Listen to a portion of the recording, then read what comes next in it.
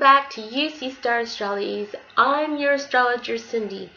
This is the astrology general horoscope reading for Scorpio, October 2017. And as you can see, I'm sitting nice and comfy on my couch and I'm all here warmed up because otherwise my throat is very, very scratchy as I was choking at the very end of the last video trying to say goodbye.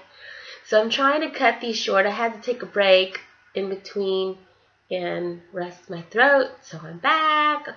Dear Scorpio, this is your year. I, I just am so, so very happy for Scorpions. I'm a born Scorpion ascendant, even though my whole astrology chart is Sagittarius based. But yes, Scorpions. okay, now let's start from the 5th of October when there's a full moon in Aries. This is happening in your sixth house. Okay, so you're probably um, needing to contemplate and think very much on how things have been flowing at the workplace, how your emotional connections have been with work colleagues, okay?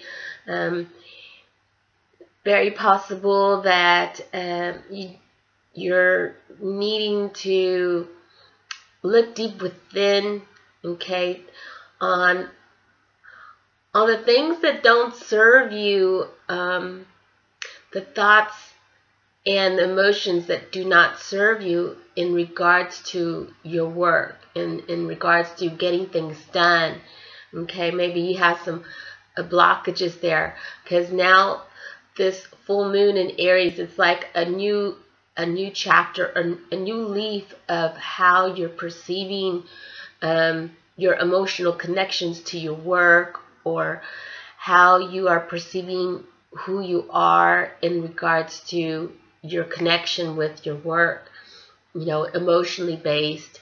Um, it's it's um, moon has to do with emotions and also our thoughts and what kind of people we and situations we are attracting at the workplace just due to the thoughts that that we allow to take it you know take reign within our brain that rhymes. And when we start to understand that there are certain things that are not of our highest good, which can, um, our thoughts can cause anger or emotional upheaval within ourselves in regards to some things that are happening with work. Okay, so maybe um, colleagues. Um, maybe there's some kind of blockages with colleagues. Some things here have to be let go so that you can allow um, more better flowing of how do you say managing your emotions at the workplace or with colleagues okay let go of certain ways of how you perceive um, certain situations that happen at work. Okay, maybe you're always thinking that you're um, just like if you if you've been grudging or begrudging people at the workplace, it's time to let these things go so that you can open yourself up to a better matrix within the workplace. Okay, and that's this full moon wanting to to start a new chapter um, in how how things have been flowing. You know, when you think of moon, you think of water and the flow of water and and um, just wanting wanting to change and you know make a different current. You know, change. It's it's just turning the chapter, having a new a new chapter within the workplace, okay, within your daily activities or your charitable ways with people, okay. So that's what's happening with Scorpio um, after the 5th of October when you have this full moon. On the 10th of October, and also the full moon is definitely um, um, blessing you to have more work and and emotional connections with your colleagues and work, working colleagues. And if you are out of a job, you should definitely be blessed with the opportunity to have a job.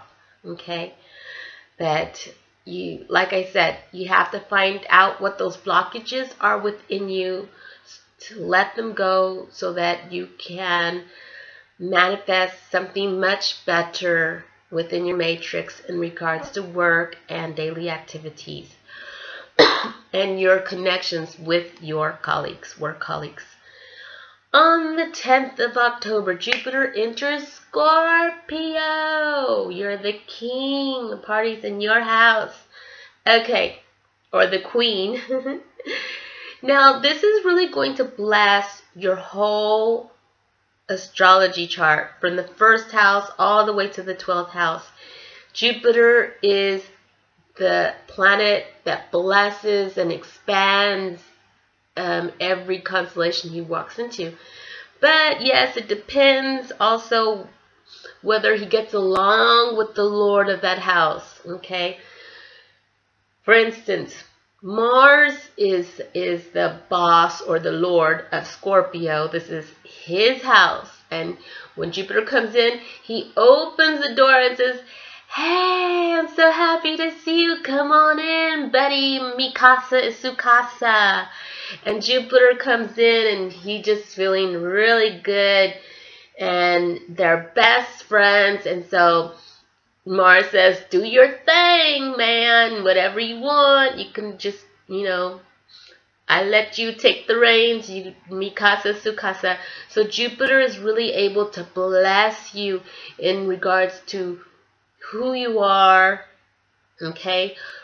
Redefining who you are, redefining how you your appearance, your characteristics, um, going deeper into spirituality and wanting to dig deep in the facts of of um, the other side, whether God really is, or or whether such things as UFOs or angels or all these types of ideas go through your head. Another thing is you could be very interested in not just life after death, but things hidden underground. Maybe um, you're into more wanting to collect um, um, um, crystals or things of that sort, you know, um, with this Jupiter entering Scorpio. Now, Jupiter here is going to want to bless and heal every aspect of your life. Um, he's going to want to, I mean, he's definitely looking at that seventh house. Now, Jupiter doesn't, wasn't very happy um, when when he was sitting in Libra because Jupiter has has one agenda and and Venus was is the lady of that house and and Venus says these are my rules. This is how things work in my house. And Jupiter's like always was trying to break the rules and, and she would always catch him and say no no no no no no. It's this way. And and so there was a tug of war and so Jupiter didn't get much done within the seventh house. But here Jupiter is really um, able to bless the scorpion people moon sun and ascendant okay? Expanding if it's your ascendant it's just really um, um, expanding all things that have to do with your life. If it's sitting next to your sun, it's definitely making your ego, making you feel strong, making your um, making you feel like you can conquer the world and uh, making you feel very healthy, your blood flowing, feeling very healthy here. Um, and definitely um, it definitely blesses you to have benefactors within your life. A benefactor, some um, money is flowing to you from other resources very easily. Okay, so if you're wanting to have a bank loan to buy a house or so, this is the year to make your dreams happen. Okay, because Jupiter is aspecting um, Jupiter is aspecting not only the seventh house but also um, the ninth house and the twelfth house. Your lucky house. Okay, so you're definitely being blessed this year, and that Jupiter is going to be here for the next 13 months until November. So, so in the beginning of the 10th of October, it's your year, okay? It's you're it, you know. Um, you're you're you're being blessed the most, or you should be blessed the most. On the 14th of October, and it definitely should be showing that, you know, if you have any kind of blockages in regards to sexuality or um, in your marriage or so, it should be helping. And now I, you really have to look at your own astrology chart. If you have other planets sitting here, it can change things, you know, like if Venus is sitting here or Pluto or Uranus, you know, it can cause some trouble or not manifest as much as you wish, okay? And um, yeah, so um, you would like, if you would like a consultation with me, then you know how to get a hold of me. Just look down below um, the description down below, or if you're following me on Facebook, um, Horoscope with Cyndi, then there you have links to easily get in contact with me. On the 14th of October, Venus is entering Libra, blessing your house that has to do with um, deep spirituality, but also Libra, Venus here in Libra does, could, you know, invite a secretive kind of relationship, um, you know, love behind the scenes, uh, um, an affair, something secretive here. Um, or it could be even like a secret contract, because uh, Scorp Scorpio people could be detectives or could be people, they're very secretive kind of people. Um, and um, even if they have a love or they wouldn't want to, you know, tell the, you know, they might want to keep it under wraps for a while.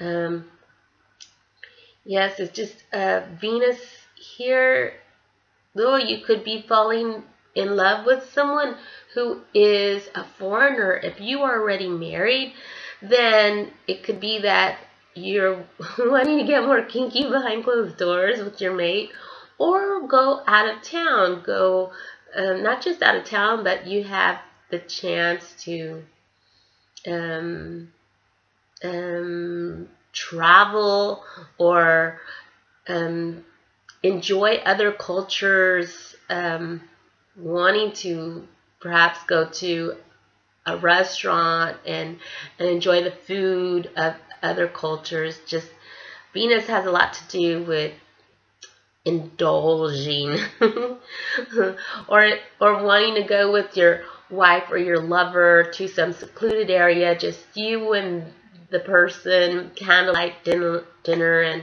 you know get all nice and steamy and romantic together um so the 17th of October we have Mercury entering Scorpio.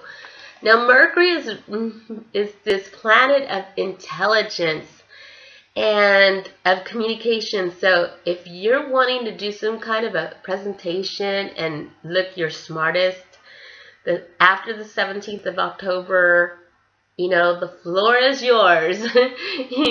you can be a salesman. This is really um, strong in salesmanship, being able to um, get your um, thoughts across very intelligently and very um, um, diligently. Um, yes, Mercury definitely helps you to get any kind of, of contracts that you wish to get, especially contracts in regards to um, bank loans, insurance payouts, or or inheritances, other people's money. Okay, having to sign on the dotted line to make that happen. On the 19th of October, there's a new moon in your 12th house. So you may you may um, be having to do like um, new opportunities to do work behind the scenes, secretive work behind the scenes, or or a secret affair. Definitely um, contracts behind the scenes, secretive contracts, or um, like I said, falling in love with someone who is um, a foreigner from from where you live, who lives abroad. And then on the 22nd of October, Mars enters Libra. So even more energy. And Mars and Venus, that's really sexy energy here. Because I did say Venus entered Libra on the 14th of October and then Mars follows on the 22nd of October. And so that's a lot of like shades of gray, shades even darker when Mars goes in. shades of gray. Um, how do they say it? A darker shades of gray when Mars goes in. Like okay, so um, Mars here, you have to be careful. Um, looks actually like pretty good energy depending on your own birth chart. Who knows what you have on your own birth chart, but Mars can cause trouble, okay? Mars can land in jail. You want to be careful. You know, if when you think of, of all this energy in the 12th house, you think of someone going to a whorehouse and wanting to pay, you know, to and and and then you could get in trouble. I don't know, but it's not like that for everyone. But Mars in the 12th house, the 12th house ha has to do with secluded areas, but also prison. And depending on your own birth chart, you just want to be careful. You want to be careful that you're not getting yourself into trouble with lovers or they're calling the cops on you or saying, you know, I was dating him and, and, and they try to swindle you and and say that they raped me or whatever and they you know I don't think it's going to be like that for um, Scorpio people because Jupiter is blessing you and taking care of you.